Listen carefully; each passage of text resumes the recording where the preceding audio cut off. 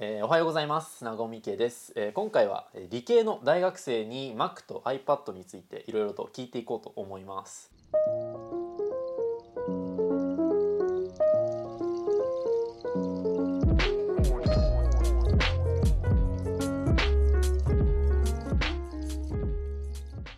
ということでですね、えー今回、えーゲストをお呼びしました。おお名前をよろしくお願いします。はいどうも。皆さんおはようございます。福田壮太と申します。同じ大学3年生で。そうですね、はい、大学でどんなことを勉強したりこう研究したりしてるんですか？そうですね。普段僕はあの生物系の勉強をしていてあの、まあ、大腸菌が研究テーマなんですけど大腸菌をこういっぱい増やすんですよ。でそれからあの超音波であのぶっ壊してでその中身の液体を使うっていう風な研究をしてます。まあ、大学のじゃあ授業は今どうなの？オンラインがベース？ああそうだね、うん、あの特にうちの学科は、もう実験もオンラインだったそう実験もオンデマンドでやって、うんうん先生たちがこうねうん。さばくのよ。うんうん。マウスを。うん。でそれを動画で撮ってるやつを 僕は大画面で見ていやー。そうレポートを書くっていうね。難しいねそれ。ね めっちゃ難しい。自分でやるよりだって大変でしょそれ。そうそうそうそう。そうその中でこうオンライン授業の中でやっぱり Mac とかうん。iPad が活躍してるってことかな、そうだね、まあ、特に今年入ってから、うん。まあ、結構その完全に自粛ってわけじゃなくてウィズコロナってなったから、あの外出る機会も多くてこの iPad と MacBook はめっちゃ使うから、うん。ほうほうほう。なるほどなるほど。どうしてそもそもこの2つを持つに至ったのか聞いてもいいですか？あそうだね。えまず最初にはい。この iPad から僕は Apple の製品に手を出し始めたはあはあそう。みんな結構紙だったんで、ね。いやそうだよ。そう。でもちょっと僕はあのそれもう重くて。教科書とかノートとか。教科書もそうだし、ノートとかも、うんうん。うんうん。もう本当嫌で。だから iPad に。そう。うんうんうん。そうなんでね。これ何枚書いてもこの重さのままだから。そうだね。そう。確かに。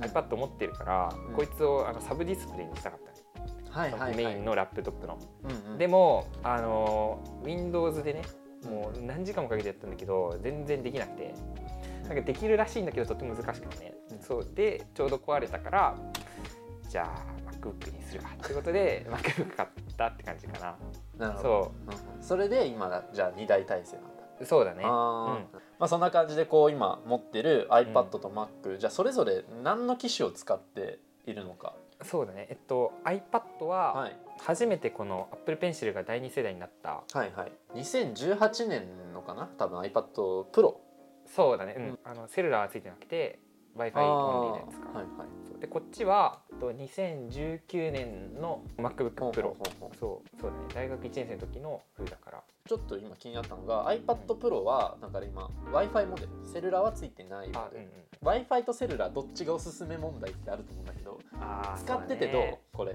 えーまあ僕は結構もうねあのテザリングで全然大丈夫かなって思ってて。うんうんうん。そう。だってスマホワンタッチでピッてできるからね。うんうん。そうだからそんなに困ってはないか。あじゃあもう結構 w i f i モデルでも全然事足りるというあ僕はうん足りなるほどなるほど、あんまネットつながないよね。そあ本当？本当う出先では結構こっちメインでやってるから、はいはい、はい、こっちをねわざわざねネットにつなげるってあんましないんだよね。はあそうなんだ。そうそうそうそう。僕が使ってるのもこの iPad Pro2018 年の11インチなんですけど、まあ、セルラーなんですよね。やっぱセルラーの方が便利だなってこう普段思ってるかそうらなんですか。あ逆にこう事足りるんだって思って。あそうだね。じゃあ次仮に買い替えるってなってもまあ別に w i f i でいいかな。あうんそうだね。あんま、うん、だって回線のお金もかかっちゃうからそうだね。僕は結構 w i f i でいいかな。なるほどなるほど。そうここから具体的に Mac と iPad をどういうふうにこう使ったり使い分けたりしているのかっていうところをはいはい。お聞きしていきたいと思います、うん。まず MacBook は普段主にまあ大学生活とかあとプライベートとかでどういうふうに活用してるそうですね。あの僕、まあ、家にメインマシンのラデスクトップの Windows があるんで、まあ、これは本当に外出用で使ってるんですよ、オンラインとはいえうん。結構外出先であの授業を受けることとか多いんではいはい。だから授業を受けたりとかであと課題やったりとか、まあ、いろいろレポートの作成もそうだし、うんうん。あとは、まあ、データをいろいろ解析したりしなきゃいけない。コーディングもしたりとか,、はいはい。だから結構マルチ何でもできるかな。普段よく使うアプリとかってある？そうだね。まあ Google Chrome かな。Excel とかもさ、はい。全部 Google のサービスに置き換わってるじゃん。スプレッドシートだったりとあかーうんうんあとワードも Google ドキュメントだったり。そうだね。そうだからあのね無難かもしれないけどやっぱ Chrome は欠かせないよね、うんさっきあの大腸筋で遊んでるって言ったけど、あのプログラミングするんだよね。あのちょっと別件でやってるエンジニアみたいなこともやってるからプログラミングとかする時には、うん。その言語の言語に適した環境を作ってあげなきゃいけないのね。はいはい。そうそう。でそれが結構くせ者で、うん Windows とかだともうそれでそれが一番の肝みたいなとこあるのよ、MacOS はホームブリューっていうのとかあったりとか。ホームブリュー？そうあのねあるんですよ。App Store で基本的に、まあ、Mac のアプリってさ、うんダウンロードするじゃん。あそこに登録されてないアプリインストールするときはさあのインストーラーをダウンロードしてきてそね。うん。でそれでいろいろ操作をするって結構む面倒くさいことがあったりとかするんだよね、はいはい。そうホームブリューっていうのはそれをコマンド一発でねバーンって入れてくれるやつがある。へえすごい便利なんだよね。その環境を構築するっていうで。データサイエンスとかいわゆる機械学習深層学習の、うんうん。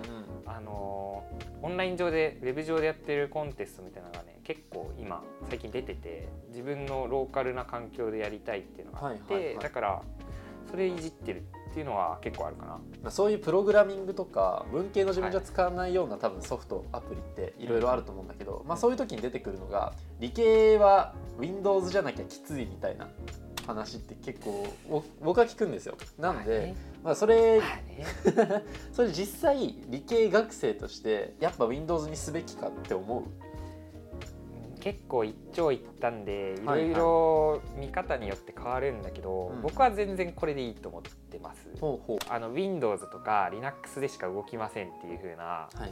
ソフトいっぱいあるんだよね。そうだからやっぱそこそれを使う時にはやっぱり Windows がいいよねとか思ったりすることもあるんだけど、うん。まあそんな頻繁にあるわけでもないしそういうことする時は家とかね研究室でやればいいっていうのがあるのとあとはね Google Chrome のリモートデスクトップっていうねはいツールがあるんですよ。うん。うん自分の端末うん。をこう遠隔操作できるツールがあってほうほうほう。そう。まあそれ使えば例えばネットにつなげて起動してある WindowsPC があってで設定しとくとつなげ簡単につなげられるんでそうだから早く解析しなきゃとかはいはい。これ使わなきゃいけないって時はそれでアクセスできるからなんかもう実質 Windows でも Mac でもどっちでもいいんじゃないかなっていう感じ。落ち着いてどっちいじりたいっていうそんぐらいじゃないか。まあ、確かにこうリモートデスクトップ多分使うにも Windows は1台は必要なんだよね。まあ必要だとは思うけど、うん。それって結構もしじゃあ研究とかでさパソコン必要ですって言ったら、うんうん。基本的に研究室から支給されると思うんだよね。だからプライベートで Mac 使うっていうのも僕はすごいありだと思う。ああなるほど。そういう選び方も。そうそうそうそれもあり、はいはいはいそしたらじゃあ今度 iPad を、まあ、具体的にどうやって使ってるかとかどんなアプリ使ってるかとかを聞きたいんだけど、そうですね、まあ、僕は Apple Pencil もへ併用してるんだけど主に講義のノート取ってたりとか論文読む時に僕そんな英語得意じゃないから、まあ、結構メモ入れたい時があるんですよね、そういう時にその PDF をさ落としてきてでそれで書き込んだりとか、うん。あとは Kindle で本読んだりとかしてるはいはい。そうそう。まあじゃあ読む書くがベースの作業が割とこう iPad でやってる。そうだね、うんあと簡単なイラストは書くよね。ああ何に使うよあなんかねあのーパワーポイントを作ったりとかする時になはいはい。ちょもうこれ全然アイコンないじゃんみたいな 時あると思うんですよ。そういう時にじゃあ軽くパパパって書くっていうのはああもうるかな。作っちゃう。そうそうそう。なるほどなるほど。めんどくさいから。はい あちょっと一個言っとくと、はいはい、結構あの雑紙にバーってこう計算したりとかする時ってあると思うんですよ。うんあここに書いてあったのにみたいな、うんうんうん、そういう風なタイミングもあると思っていて、うんうん。あのそれがねなくなるんで iPad。で全部これに書いちゃえばいいから、全部。もう普段のメモ帳からここにやっておくことでこう後から捨てときゃよかったあ捨てなきゃよかったみたいなそう。いったシーンもこうなくなると。あそうそうそう。マジでなくなる。そうだけどねすごいね楽になる。なるほど。それも iPad の良さ気にしなくていいまあ iPad に関しては、まあ、こっちよりもすごいライトな使い方をずうんうんうんっとしてて、こいつが持ち歩きたくねえよって時あるじゃん。そうだね。重い。まあうんうん。重いんですよ。多少。そうだね。あの iPad に比べるとね。そういう時には iPad だけ持ってでちょっと出先でこれでも軽いあのなんだろう Excel とかのさ作業もできるしさ、まあ、パワポもいじれるしさ、うんうんうん。最近どんどんパソコン化してきてるじゃんそうだね。そうそう。だから結構そういう簡易的な作業はこっちでも済む時あるよねっていうのがあって、iPad だけで行く時もあるかな。なるほど。そう。プライベートではもうねネットフリックスみたいな。そう。いやまあそうなるよね。いや大事大事。僕千鳥好きなんですよ。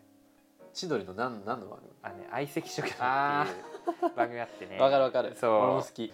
なんかこう聞いてると iPad すごく万能なツールでもう iPad だけでも結構事足りるんじゃないかっていう気がしてくるんだけど、うん。iPad だけだとさすがにちょっと厳しい場面も多い。そうだね。僕は結構ね嫌だよね。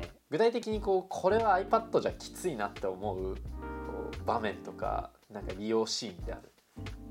プログラミングだね。あやっぱそこになるできのかないんですよ。ああの これではできない。あのできるっちゃできるんだけど、うんうん全然、うん、まだまだだよね。そうあと、うん。うんあのファイル操作がさなかなかやっぱ使いづらいよね。あの僕らがいじりたいと思ってるのをいじれない場合があるじゃん。そうだから結構嫌だかな、なるほどなるそほどまあ、Mac と iPad それぞれの具体的な使い方みたいなのはこう結構教えてくれたんだけど、じゃあ実際こう Mac と iPad を2つ持ってることで多分いいことっていうのもいろいろあると思う、はい。連携させたりね、うはいはいはい。でそういった使い道ではこう2つ持っておくことで何かいいことっていうのは何かあるか？いやもうねあの、いいことしかないんですおおでも本当におおそう。僕は結構 iPad 軸ではいはい、あのラップトップ選んだから,、うんだから Windows と iPad 使った時もあったのよ。連携のしやすさ。うんうん、で連携した時の快適さがやっぱね全然違うんだよね。そう例えばあの皆さん使ってるかもしれないけどあのサイドカうはいー、はい。あるよね。あの iPad がサブディスプレイになるってやつがあって、うん。でそれなんかもうほんとワンクリックぐらいでさそうだね。いくじゃん。すごいよねそう、で手軽にで結局 iPad 持ってるからうんうん。から簡単にこう2画面にできるからさ、はいはいはい。そう特にあの Zoom での授業中とかはすごい重宝するよね。そうあとやっぱエアードロップかな。あーやっぱ大きいかそれは。あれすごいでかい。あの本当にでかい。あのねちょっとエピソード話すんですけど。いいですか？いいよ。あのテストがあるんですよ。はいはい。バーって計算して。そうだね。でなんかなんか問題があって。でこのこの時間までに出しなさいみたいな時だ。はいはい。それもあのオンラインの提出フォームにねでそういう時に時間かかるパターンってなって、うん。うんえっと、それ iPad 持ってない人はパソコンで PDF ダウンロードします。はいはい。でそれをプリンターに送りますと、うわー。うんそれで印刷をします、うんうんうん。それから解き始めるんでね。そう。で解くじゃん。あのスキャナーにかけて PDF にしそれをこっちに送ってきて初めて提出するのね。もう聞きたくないもん。いやそうそう。結構、やっぱねすごいロスなんでね。う、ん。まあ、iPad と MacBook 使ってるから、だから本当にもう時間になったらダウンロードします。で AirDrop でこっちに送りますと。はいはい。でこっちでその PDF に書いてうんうん。エクスポートして出すから慣れれば本当ねすぐ終わる。あ30秒やばいやばいやばいぐらいまで頑張れる。なるほど。じゃあ Sidecar と AirDrop まあ他には何かあるかも Good Notes っていうノートアプリ僕使っていて、はいはいはい。あのね実はねデスクトップ版もアプリあって、はいはいはい。でそっちで見ながらこっちでも書くみたいなそういうことができるんでね。2画面分割できるんだけど結局2つまでしかさ見れないじゃそうだね。んでも、うんうん。もっと参照したいって思う時あるのよ。教科書をさ全部 PDF にしちゃってますって場合、であのちょっとこっちにはまだ入ってない。うん。うんとりあえずこっちに iPad に入ってますって時に、えっと、自分のノートを置いときます、右側に、ではい。左側にはあの講義資料があります。もうもうそれで手一杯だけだ、なるほどはい。そしたら教科書を GoodNotes から飛ばせるとかね。ななんかそんな感じであの結構連携そう連携プレイはねやっぱねすごいですよ。なるほどなるほど、うん。結構じゃあもう Mac と iPad がもう結構もう足し算じゃなくて掛け算でかなり。いやもうねあのジョーだよジョーあ上の話やめて。まあ結構便利にうん。あの大学生活を送ってると思うんですけど、はい。逆になんかここはこうしてほしいなっていうこう不満点とかあと、まあ、困ってることとか。強いて言うならやっぱはいはい。さっきも言ったけど、あの Windows でしか動きませんよっていうのがたまにあるから、その時にちょっと面倒くさいよねっていうのはあるけどほぼない。僕はあんま出会ったことがない。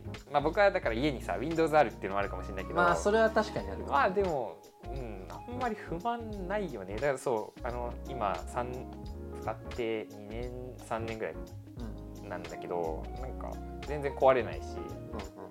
あ思い出した。あ。MacBook の良くないところ。はい。ね充電器がねでけあえもうちょっとした弁当箱みたいなのあるじゃん。ー確かにあれねの。そうもっとちっちゃくなってくんないかなと思うけどね。プロの 60W 用のってうん。結構大きいよね、そうそうそうそう,、うんうんで重いんだよね。重いね。そうサードパーティーとかでさ充電器とかも出てると思うんだけど、うんうんうんうん。そこはなんかそんなに買う気にはならないいやあるあるあるあるけおどーあの壊れないんだよ。あるんだけど壊れないかうんらそうだからまだ手出してないかな。なるほどね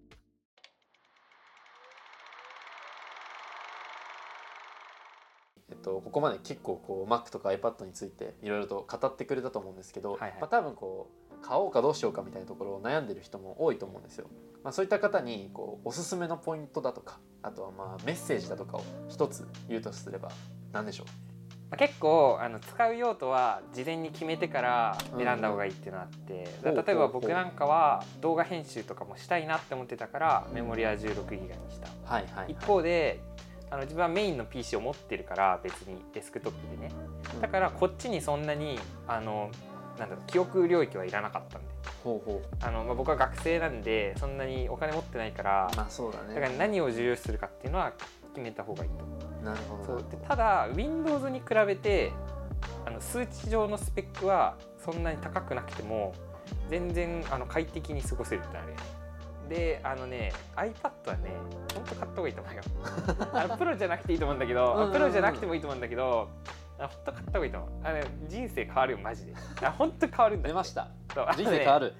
る、変わるんですよ、そう文字書くって時にさうんうん。でもスキャンしてるのほんとめんどくさいんだよね。そうだね。そう直接書ける iPad は本当に、ね、いい気がする。特に大学生とかさこれ持ってなくてどうやってやってんのっていう話もう前時代的な紙を使ってるんですかあなたって。いう分かんない。ね。炎上するかもしれないからあれだけどそう。